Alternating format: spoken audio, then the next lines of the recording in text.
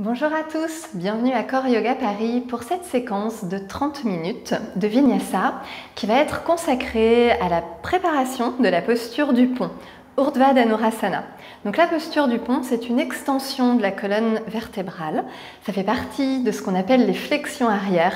Et c'est un très bon mouvement de la colonne à rechercher car ça va compenser beaucoup de mauvaises habitudes posturales qu'on prend au quotidien.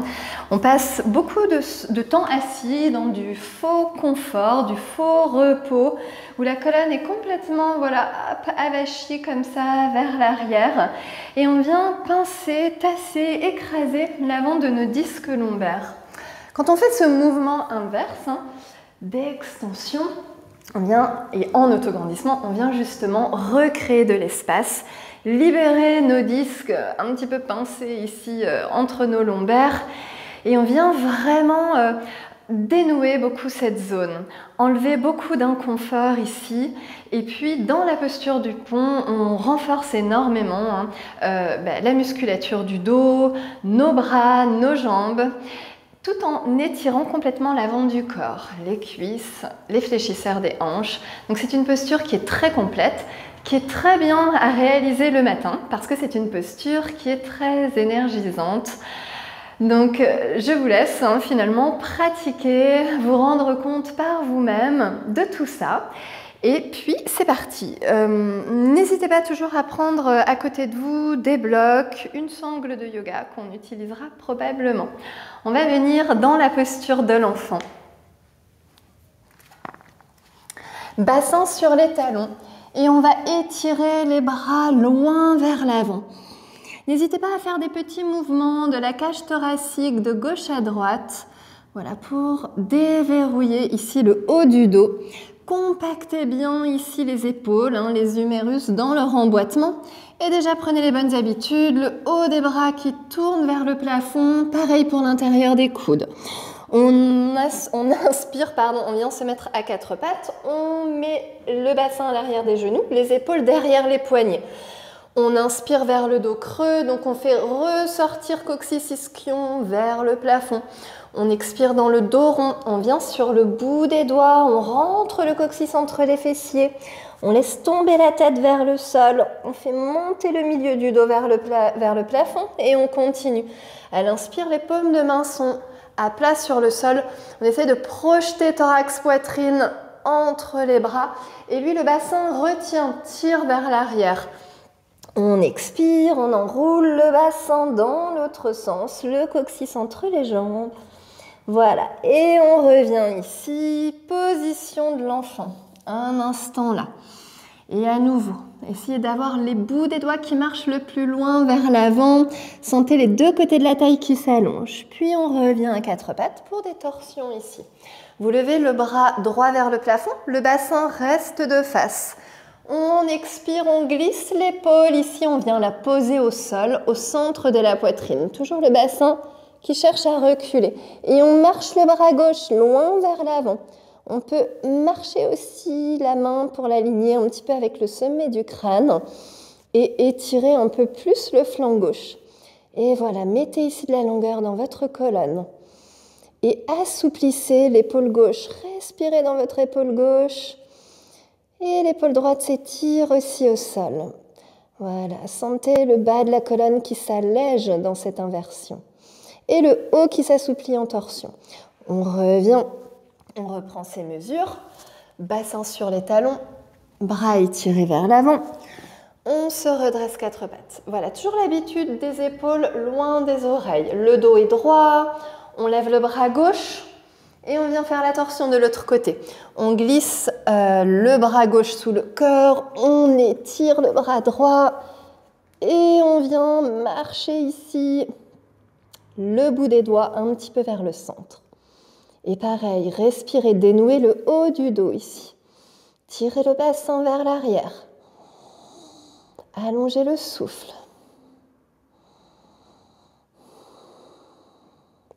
Et encore une longue inspire. Expirez. Déliez. Revenez ici, bras tendus. On se redresse à quatre pattes. On va venir vers Anahata Balasana, qui est une belle ouverture du cœur et un bel assouplissement de la colonne thoracique. Le bassin est fixé au-dessus des genoux, cuisse à la verticale. Et vous marchez comme ça vers l'avant pour venir poser poitrine, menton sur le tapis. Comme si le ventre voulait venir se coller aux cuisses. Et on respire là. Vous allez sentir aussi un assouplissement intense au niveau des épaules. Donc c'est très bien, on est vraiment dans ce qu'on recherche hein, pour préparer notre pont. Souplesse du thorax et aussi mobilité dans les épaules. Ne cherchez pas à tout prix le contact du sol. Si la poitrine ne se pose pas, si le menton ne se pose pas, voilà, on ne cherche pas à tout prix à le faire. On cherche surtout des sensations agréables dans le haut de la colonne. Encore une longue inspire et on expire. On revient. Bassin talon, bras étirés. On se redresse à quatre pattes. Orteils dans le sol, chien tête en bas. Pour le moment, pliez les genoux. Reculez les épaules loin derrière. Tournez le haut des bras vers l'extérieur. Élargissez le thorax face au tapis. Si les jambes se tendent, que les talons viennent se poser au sol, eh bien, que votre souplesse le permet, prenez, mais N'hésitez pas vraiment à fléchir les jambes et à étirer votre colonne. Puis regardez entre les mains, marchez vers l'avant. Inspirez, la colonne est longue. Expirez, fléchissez les genoux, étirez le ventre sur les cuisses, relâchez la tête. Et encore une fois, inspirez à l'équerre. Si les mains ne touchent pas le sol dans l'équerre, on pose les mains sur les tibias. Expirez, étirez-vous. Faites remonter l'étirement à l'arrière des jambes et vers le centre. Relâchez la tête. Et inspirez, équerre, ouvrez les bras, large sur le côté vers l'arrière pour remonter. Expirez, bras le long du corps. On va faire des enchaînements autour des salutations au soleil avec des petites variations. Inspirez, les bras montent, épaules basses. Expirez, on descend, colonne longue, repoussez l'arrière des genoux vers l'arrière. Dès que c'est trop court dans les jambes, on fléchit les genoux pour ne pas compenser dans le dos. Tête relâchée. Inspirez dans l'écart. Expirez, vous allez marcher le pied droit loin derrière. Ramenez le genou ici au-dessus de la cheville, posez le genou arrière dans le tapis. Inspirez, levez les bras. Regardez vers le haut. Expirez, ouvrez les coudes larges sur le côté. Sentez les omoplates qui descendent dans le bas du dos. Continuez votre course jusqu'en bas. On entrelace les doigts, on pointe les index, coccyx absorbé. On presse le pubis vers l'avant, la poitrine vers le haut. Rentrez le coccyx, rentrez le nombril vers la colonne et cherchez à ouvrir ici la poitrine vers le haut. Puis revenez. Posez les deux mains au sol, tendez la jambe arrière, reculez la jambe gauche, venez en planche. Genoux au sol, chaturanga, le nombril est rentré et on descend en fléchissant les coudes. On essaye de ne pas descendre par le bassin. On étire l'avant des jambes. On tourne les cuisses vers l'intérieur. On pousse dans les mains. Menton rentré, sommet du crâne qui monte dans le chien tête en haut. Alourdissez le pubis vers le sol. Et puis voilà, sentez les omoplates qui glissent vers le milieu du dos. Ouvrez votre colonne ici. Expirez, chien tête en bas. Prenez une longue inspire là une longue expire, on ramène la cuisse droite sur le ventre. On marche le pied droit à côté de la main. Posez le genou arrière, voilà, assez loin derrière. Genou ici au-dessus de la cheville, on inspire, on monte. Et on expire, on ouvre, voilà, hop, on ouvre les, coudes larges sur le côté. On vient entrelacer les doigts, pointer les index et on presse vraiment dans le pied avant. On va chercher ici cette ouverture. Rentrez bien le coccyx. Glissez le bas du dos, les fessiers vers le sol et vous remontez ici l'avant du bassin vers les côtes. Voilà, et ici, allégez-vous dans la posture. Et on revient, main de chaque côté. La jambe euh, gauche avance. Base des gros orteils en contact, on inspire, colonne longue. On expire, le ventre long sur les jambes. Ne cherchez pas à tendre les jambes, mais à coller bien le ventre aux cuisses. On inspire, on remonte, on déplie par les hanches, on passe pas par le dos. Épaules basses, bras montent. Expirez, bras le long du corps. On ressent ici sa verticalité, son ancrage et déjà cette force et cette mobilité dans la colonne. On inspire, les bras montent. On expire vers l'avant. Et on descend ici vers le sol, tête relâchée. Inspirez, ouvrez le haut de la poitrine. Expirez, marchez le pied droit vers l'arrière. Et à nouveau, on refait cette fente basse. Inspirez, les bras montent. Expirez, ouvrez vers le côté, vers l'arrière. Et puis peut-être à nouveau, pointez les index et allez chercher loin derrière. Puis revenez. Mettez les mains jointes sur la poitrine, épaules basses, coude ouvert. On tend la jambe arrière. Tournez bien cette cuisse vers l'intérieur. Avancez bien le genou avant. Expirez en torsion. On tourne vers la gauche. Voilà, épaules basses. Levez les coudes. Le bassin, le nombril reste de face et c'est le haut de la poitrine qui tourne. Enfin, le haut du dos, pardon. Haut du buste. Et encore. Et on revient. On pose ici le genou arrière. Alors, soit vous le faites les mains au sol, soit, voilà, si l'équilibre est là, donc jambe gauche tendue, on pointe les index. Ça empêche hein, le dos de vouloir ici se voûter, s'arrondir. Pensez à étirer la nuque. Voilà, trouvez de la symétrie ici dans la posture. Encore une longue inspire là. On expire, on repose le pied, on attrape le pied arrière. Alors on peut garder une main ici hein, sur un appui, sur un bloc, sur le genou, si l'équilibre est un peu compliqué.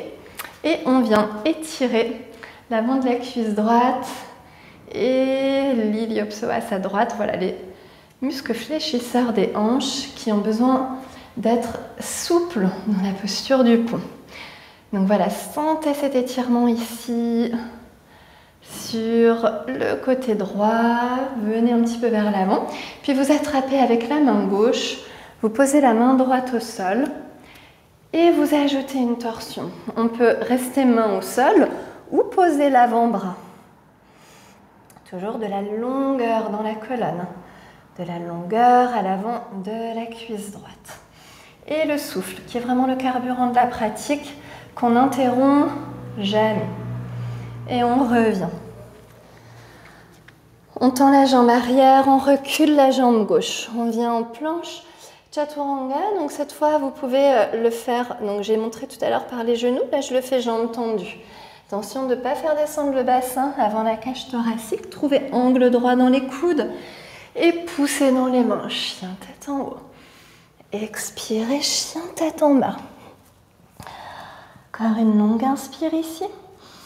Longue expire, on ramène. Cuisse droite sur le ventre. Et on pose le pied à côté de la main droite. On pose le genou gauche. Épaule basse, bras tendus. Verticalisez le bassin. Alignez bien ici, genou, cheville. Expirez. Allez chercher les coudes sur les côtés vers le bas. Entrelacez les doigts. Et venez ici peut-être chercher un petit peu le sol, sans jamais forcer. Donc absorbez bien le ventre vers la colonne et le nombril entre les fessiers. Et on revient. On tend la jambe arrière, on lève les bras, main sur la poitrine et on vient faire la torsion de l'autre côté. Gardez bien le bassin de face. Expirez, abaissez les épaules, recrutez les obliques ici pour tourner. Dynamisez la jambe arrière. Encore une inspire là. On expire, on revient. On pose le genou au sol. On vient Ardha Hanumanasana étirer cette jambe. Pied flex. On s'étire sur l'intérieur ici de la jambe. Quand l'équilibre, alors voilà, si l'équilibre est là, on peut entrelacer les doigts, pointer les index, et s'étirer ici sur l'avant de la jambe, sur l'intérieur pardon de la jambe. Voilà, ne laissez pas le haut du dos s'arrondir. Si c'est trop intense dans la jambe avant, vous pliez un petit peu le genou. Puis vous revenez.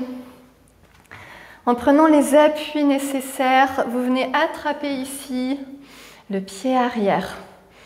Et vous étirez ici, iliopsoas, quadriceps. Ancrez bien la base du gros orteil à droite. Pensez à ouvrir l'avant de vos épaules. Puis on attrape avec la main opposée et on pose la main gauche au sol. On commence à mettre en place sa torsion. Et si on veut aller plus loin, on pose l'avant-bras. Et on respire là. Encore une longue inspire. On expire, on revient. On tend la jambe arrière, on marche vers l'avant. On inspire, la colonne s'allonge. On expire sur les jambes, pressez bien les talons dans le sol. Et voilà, et vous faites remonter ici hein, les fibres musculaires vers les fessiers en dosant bien l'étirement. Inspirez, on se redresse. Expirez, bras le long du corps. Inspirez, les bras montent. Expirez vers l'avant. Descendez toujours colonne bien longue sur vos jambes. Inspirez, ouvrez ici le haut du buste. Expirez, marchez vers l'arrière. Chaturanga, n'hésitez pas à poser les genoux si nécessaire. Chien tête en haut. Expirez, chien tête en bas. On va venir dans nos épaules. Voilà, préparez nos épaules pour la posture du pont à venir. Levez la jambe droite. Attention, essayez de garder le bassin de face. Étirez-vous là. Ramenez cuisse sur le ventre. Ne vous laissez pas tomber ici entre les épaules. Prenez de la hauteur. Fléchissez la cheville. Posez le pied. On peut installer la posture avec le genou au sol. Et on peut mettre une sangle sur l'épaule droite si on a besoin. On étire le bras sur le côté droit, rotation interne, et vous mettez alors voilà, soit la main entre les omoplates, soit vous attrapez la sangle. Vous montez ici le bras gauche, biceps au niveau de l'oreille, voilà, et soit vous venez attraper votre sangle de cette manière, et sinon vous faites ça. Le genou est au sol ou jambes tendues, à vous de voir. Abaissez l'épaule gauche et le coude gauche. Et respirez là dans vos épaules. Encore, longue inspire. Longue expire. On pose le genou s'il n'était pas déjà posé. On tend la jambe droite. On cherche son équilibre et on va descendre sur l'intérieur de la jambe en laissant le bras au niveau de l'oreille. Donc vous avancez le buste sur l'intérieur de la jambe et vous essayez de vouloir monter le coude en même temps. Et encore. Et vos mains pressent sur la colonne thoracique pour vraiment euh, voilà, favoriser l'allongement de la colonne. Très bien, on revient. On repasse ici un instant. On délie les bras. On pose les deux mains au sol, on recule la jambe, chaturanga, par les genoux si j'ai besoin. Tournez bien les cuisses vers l'intérieur, talons vers l'extérieur, épaules en arrière. Expirez chien tête en bas, levez la jambe gauche. Et puis cuisse sur le ventre, pied à côté de la main. Et là c'est pareil, je peux installer avec le genou au sol, si j'ai besoin, je mettrai ma sangle sur l'épaule gauche. Et je mets les bras de Gomukhasana.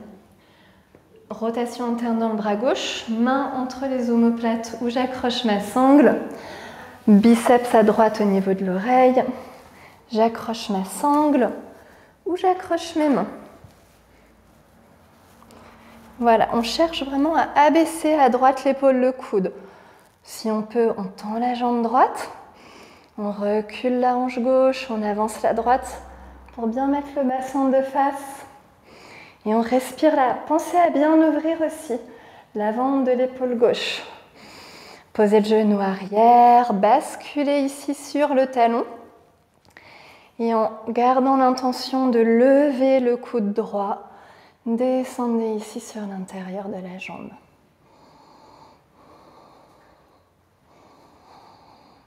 Allongez le souffle. Allongez la colonne. Et revenez, repassez là un instant. Déliez les bras.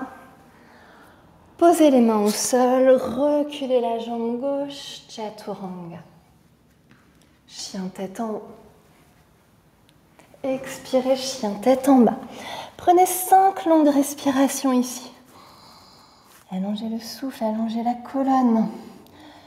Poussez le bassin vers l'arrière et vers le haut. Allongez la nuque, absorbez les côtes basses vers l'intérieur pour redresser un peu plus le thorax ici. Et on vient poser les genoux. Les genoux, on va venir dans la posture du chameau, donc plusieurs variations, suivant que vous êtes plutôt dans une pratique débutante ou pas. Donc on va venir ici sur les tibias, genoux largeur des hanches. On demande aux cuisses de tourner vers l'intérieur. Dans toutes les flexions arrière, le principe sera le même. Vous imaginez ici que l'avant du bassin, les, les, ici remontent vers les côtes et comme si elles étaient voilà, soudées, euh, reliées. Et bas du dos fessier glisse vers le bas. Donc c'est toujours ce glissement que vous mettrez euh, pour protéger votre dos, allonger les lombaires dans toutes les flexions arrière. Là, on va le faire avec l'aide des mains. Vous mettez les pouces hein, justement sur les bords iliaques derrière, vous les abaissez. Et les doigts attrapent l'épine ici et la remontent. Comme ça, vous le faites avec vos mains et après, vous le referez sans l'aide des mains. Épaules, coudes vers l'arrière et vers le bas. Et on fait avancer ici le bassin. Et on essaye d'ouvrir, d'alléger la poitrine, le thorax vers le haut. Tenez la tête ici. Voilà, et puis respirez là. Si vous voulez corser un peu et renforcer les quadriceps, vous emmenez le poids du corps vers l'arrière jusqu'à pouvoir ben, contrôler la descente et vous revenez. Et on reprend, on inspire, on grandit. On abaisse ici, on place le bassin avec les mains comme on a vu. Dans un premier temps, on vient arquer la colonne. Donc c'est dans le haut de la colonne hein, qu'il faut chercher cette, euh, cette courbe, pas dans le bas. On se redresse et on descend ici, coccyx absorbé. On renforce ses cuisses là où on peut. On remonte, dernière. Abaissez bas du dos, bassin vers le sol. Fessier vers le sol. Coccyx rentré. Ouvrez poitrine, thorax vers le haut. Voilà, allégez-vous ici. Poussez le bassin vers l'avant. Revenez. Et on se translate ici vers l'arrière, là où c'est possible. Et on revient. Très bien. On prend une pause. On remet la colonne droite. On respire un instant.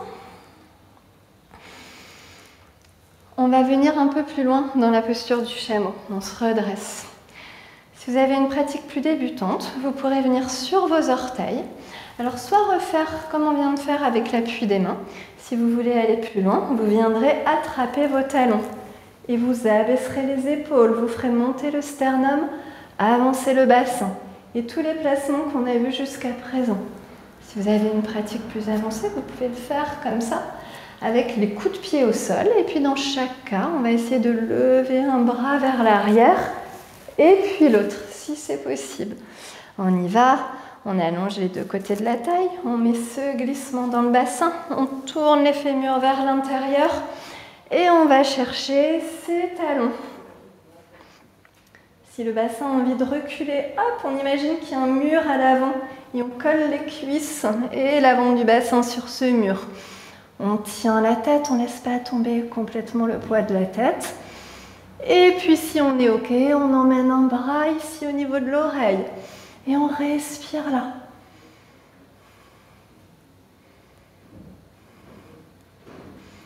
On repose ce bras et on fait la même chose de l'autre côté.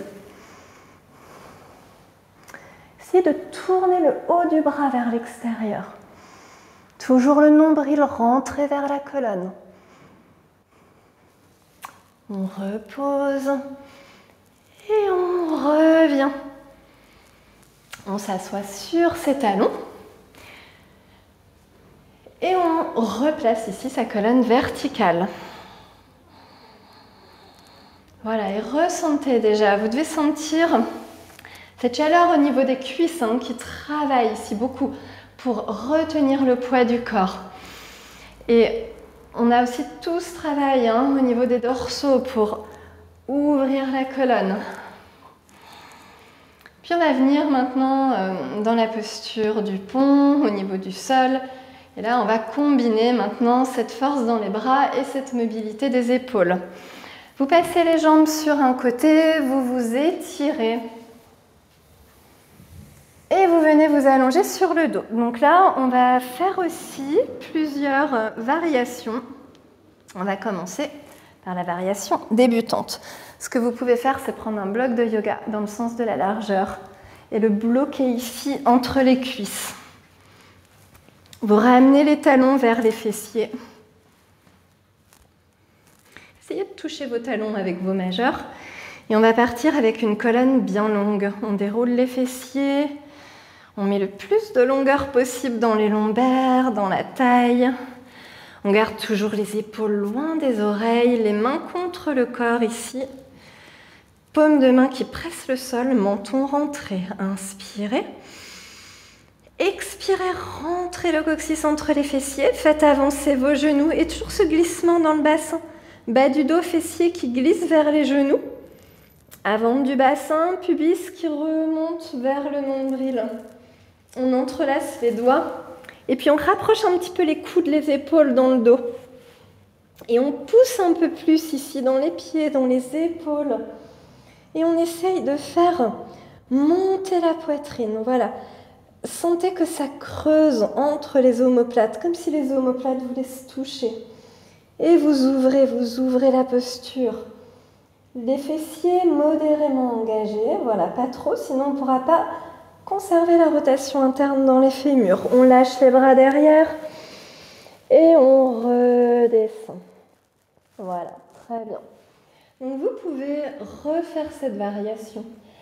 À la place du bloc, vous pouvez euh, sinon mettre la sangle autour des cuisses ou aussi vous entraîner sans accessoires. C'est bien de ne pas toujours faire avec accessoires. On va essayer d'aller vers la deuxième euh, variation qui va être de poser les mains au sol et de venir poser le sommet du crâne. Donc le départ est le même. Colonne longue. On est bien aligné. On presse les mains dans le sol.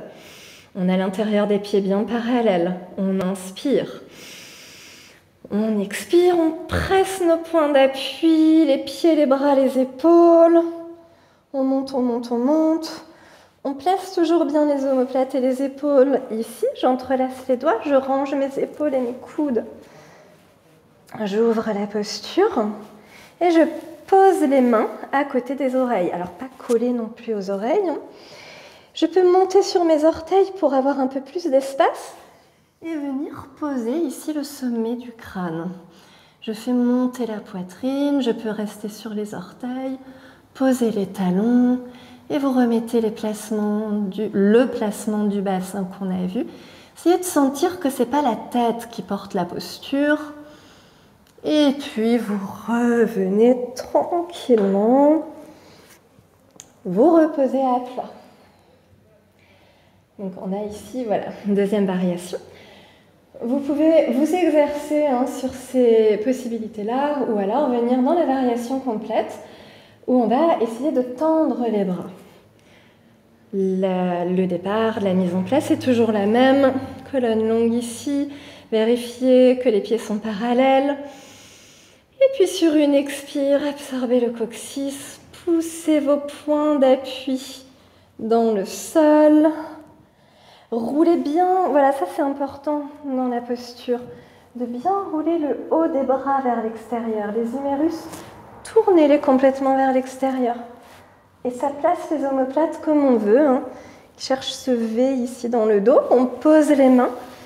N'hésitez pas à monter sur les orteils, ça aide beaucoup dans la posture. Et vous poussez ici, voilà.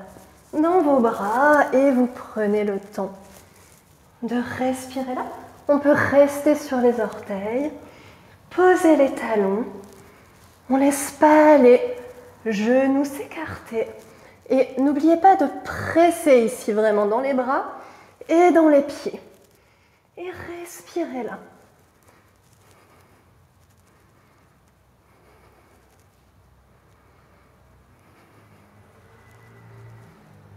Et on redescend.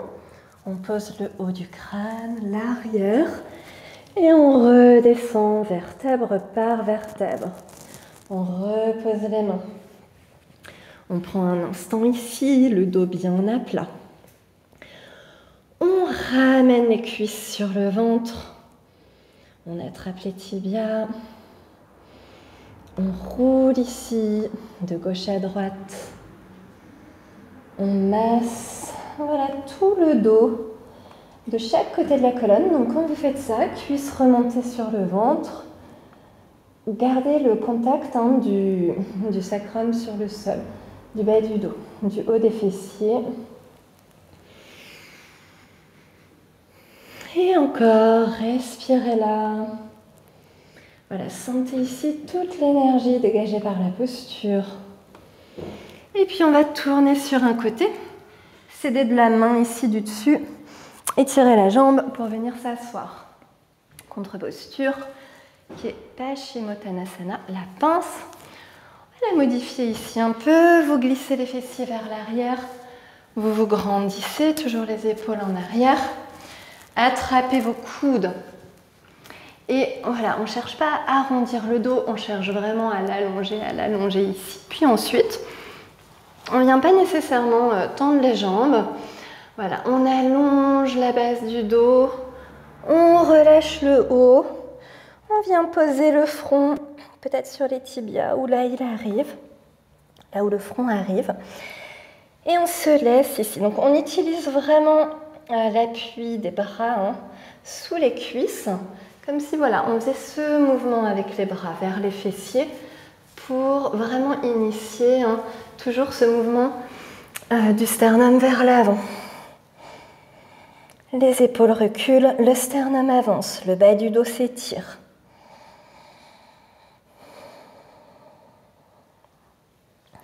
Voilà, trouvez le bon compromis ici d'étirement et de détente. Respirez dans votre dos.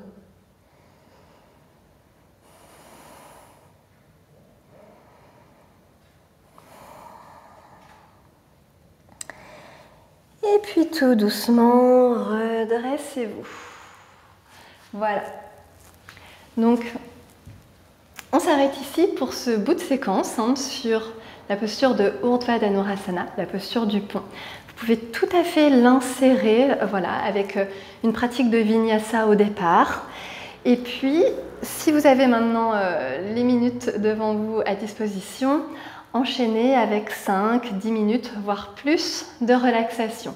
Shavasana, on se laisse aller sur le sol, souffle léger et on récupère ici. Donc j'espère que cette séquence vous aura apporté euh, plein de petits outils et de petits déclics dans votre pratique. N'hésitez pas à retrouver aussi sur notre site coreyogaparis.com beaucoup de contenu en yoga, en pilates, en barre au sol avec tous nos professeurs. On reste également à votre disposition pour répondre à toutes vos questions sur Facebook, sur Instagram ou par mail. Je vous souhaite une très belle journée et à bientôt.